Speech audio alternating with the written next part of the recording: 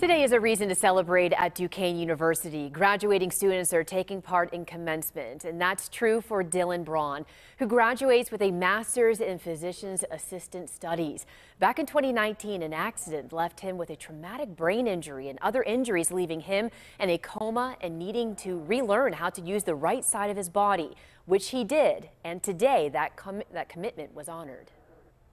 Right in the beginning, I, I honestly I first of all didn't recognize myself because of the way I looked, um, and that was a really hard stepping stone to get over.